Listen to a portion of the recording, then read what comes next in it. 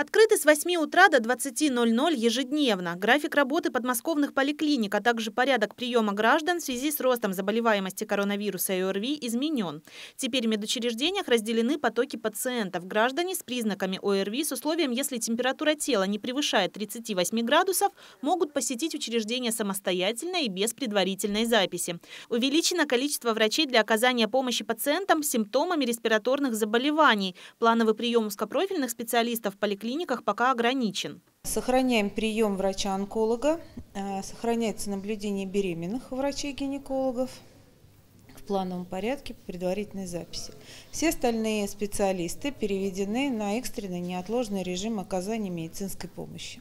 Пациенты с соматической симптоматикой, э, с какими-то неотложными состояниями могут вызвать врача на дом.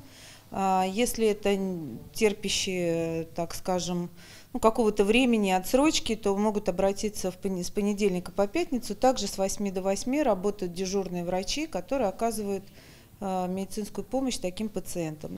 Продлить или закрыть больничный лист теперь можно и дистанционно. Врач диспетчерского центра свяжется с пациентом и задаст все необходимые вопросы. В тот день, когда у вас будет по плану закрытие больничного листа, вам позвонят из поликлиники. Если вы уже здоровый, у вас нет жалоб, его могут закрыть по телефону. Открывается больничный лист только после осмотра врача. Его откроют в тот день, э, с того дня, э, в который был сделан вызов на дом.